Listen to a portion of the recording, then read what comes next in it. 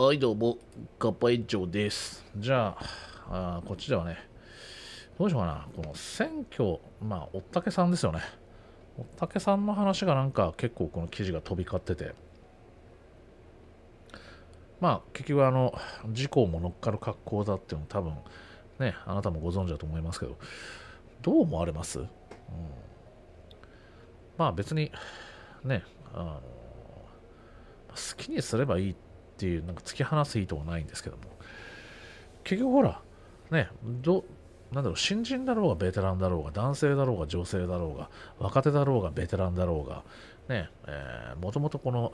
政治や家業に携わってた人なのか、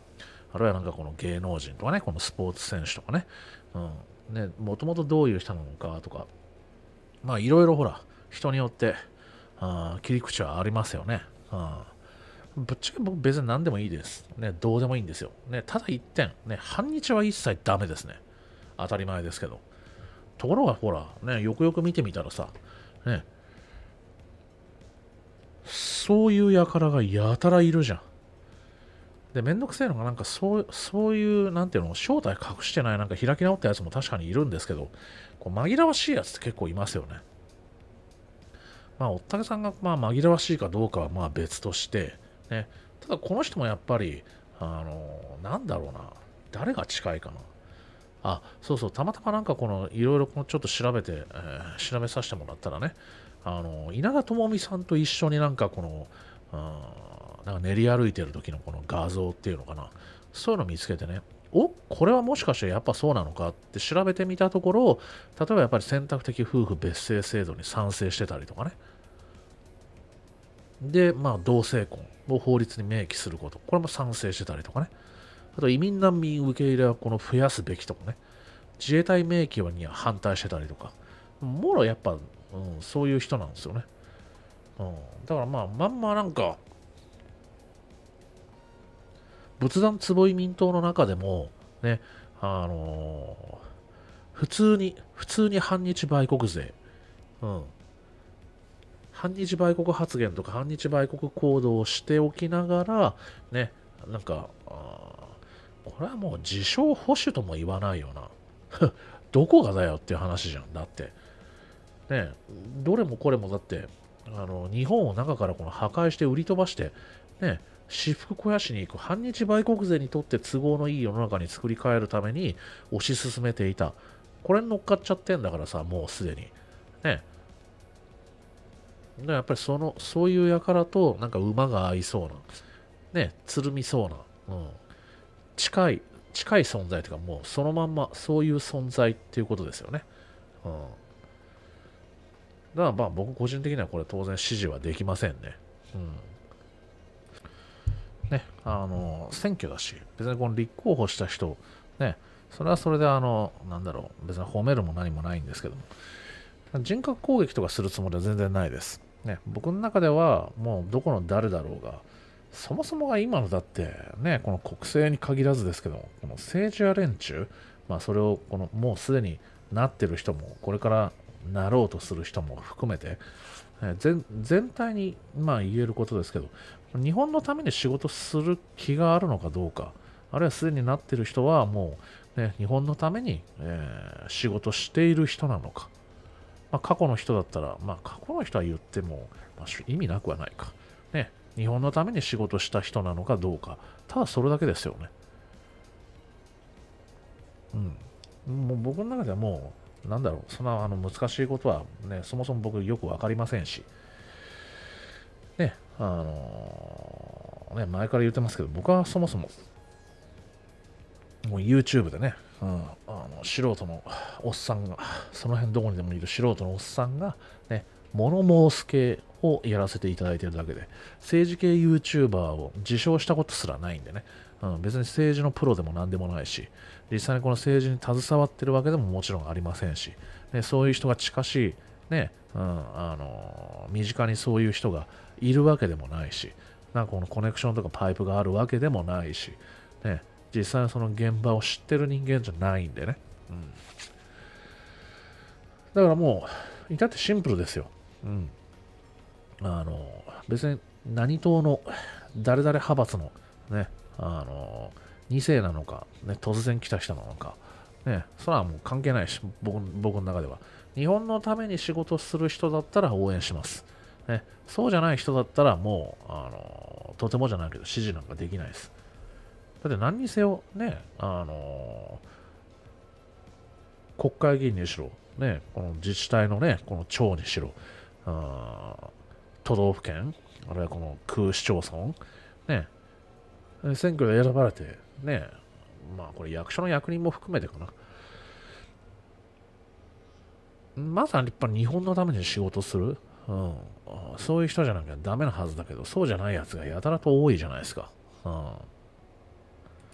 うん、まあ僕の中でもそこでしか判断つかない。うん。多分個人的にこのその人の、ね、なんだろう、この人となりとかさ、なんかこの実際に、えー、リアルでね、あの付き合いがあるとか、どういう人なのかっていうのは知ってる人ではないんで、誰に対しても。うん。ね、実際にこの発言とか、あまあ、すでに実績がある何年か議員みたいな、ね、やられてる方だったら、ね、何いつどこで何言って何やってきたとかっていう、そういう積み重ねがね、あ全くない人もいるか。全くないってことはないと思いますけども。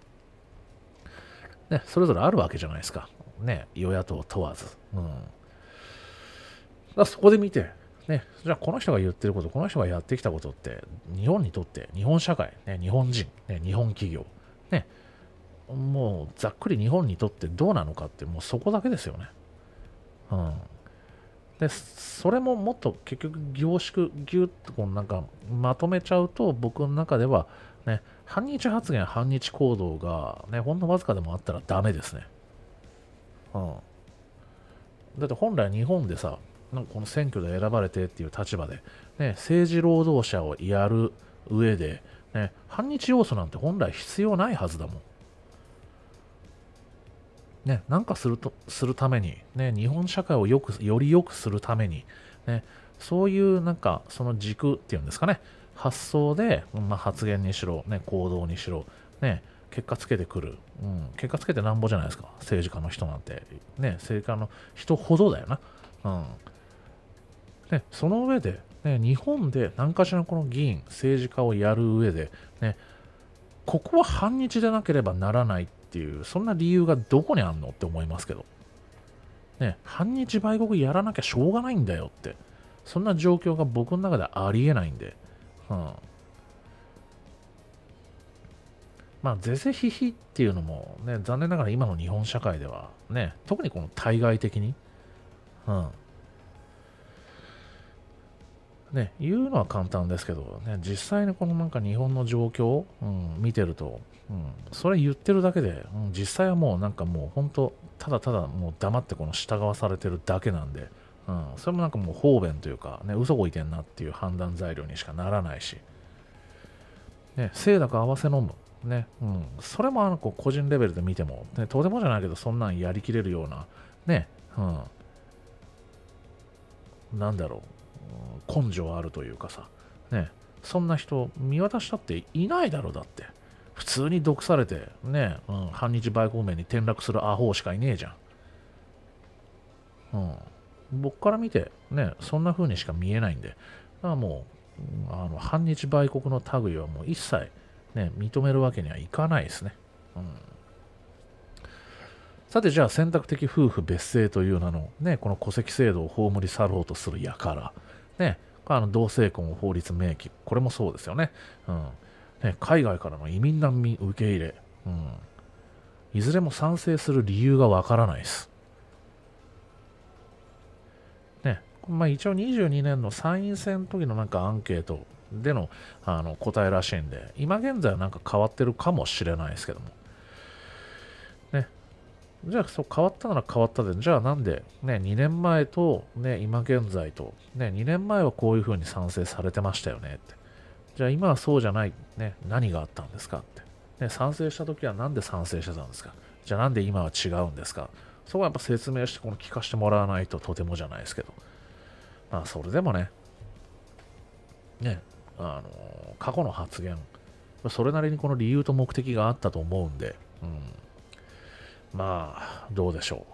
そもそも自衛隊の存在憲法明記に反対って、